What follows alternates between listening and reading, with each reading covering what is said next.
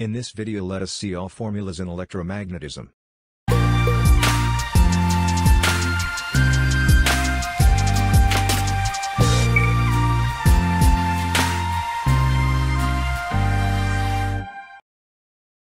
One. Magnetic force. According to Coulomb's second law, the force between two magnetic poles placed in a medium is directly proportional to their pole strengths, inversely proportional to the square of the distance between them, and inversely proportional to the absolute permeability of the surrounding medium. It is given as F equals m1 multiplied by m2, whole divided by 4 pi mu d square. The unit of force is Newton, where m1 and m2 is the magnetic pole strengths of the two poles. d is the distance between the two poles. Mu is the absolute permeability. 2.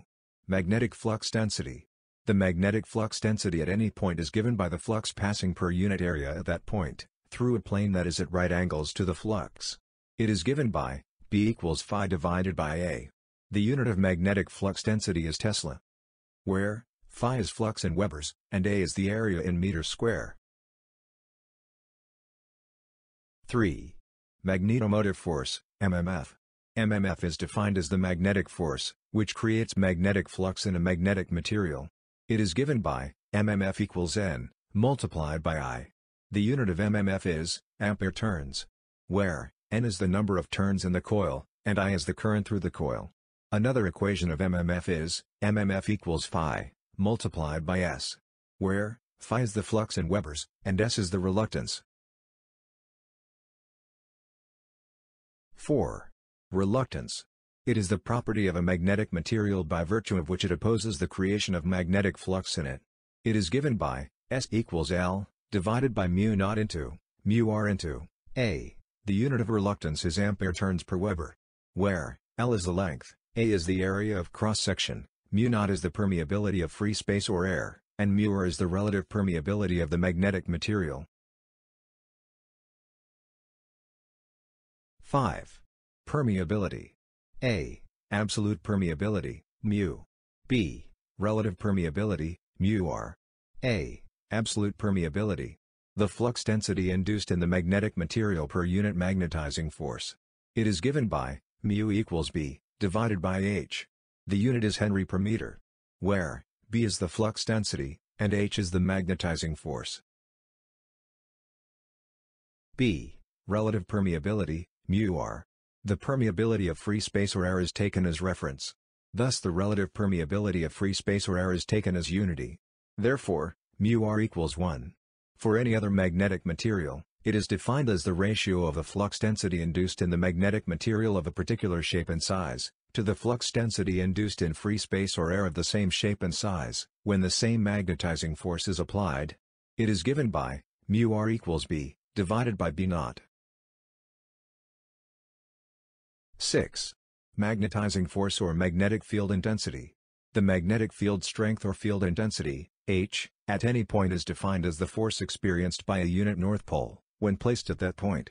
It is given by H equals m, divided by 4 pi mu naught, mu r, d square.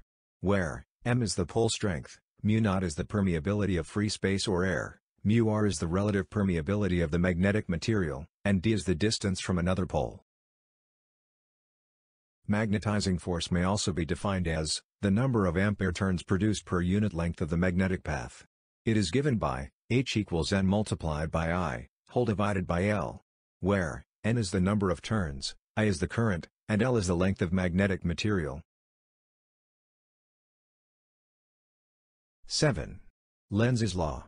This law states that the direction of induced EMF is such that the current produced by it sets up a magnetic field opposing the motion or change producing it. Therefore the induced EMF is given by E equals minus N, d phi by dt. 8. Dynamically induced EMF.